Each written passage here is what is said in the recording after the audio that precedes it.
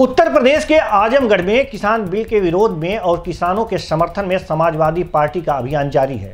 Bilariyaganj block के कपसा गाँव में समाजवादी पार्टी के प्रदेश कार्यकारिणी सदस्य लालजी यादव ने अपना सर मुड़वाकर विरोध प्रदर्शन किया। इस दौरान लालजी यादव ने कहा कि जब तक किसानों की बात को सरकार नहीं मानेगी, तब तक समाजवादी पार्टी का सरकार के खिलाफ आंदोलन जारी रहेगा। उन्होंने कहा कि सरकार किसानों के साथ ज्यादती कर रही है। अगर सरकार किसान बिल को सरकार वापस नहीं लेती है तो समाजवादी पार्टी के लोग गांव-गांव, घर घर जाकर किसानों को जागरूक करेंगे। उन्होंने कहा कि सरकार पूंजीपतियों को फ़ायदा पहुँचाने के लिए किसानों पर यह बिल थोपना चाहती है।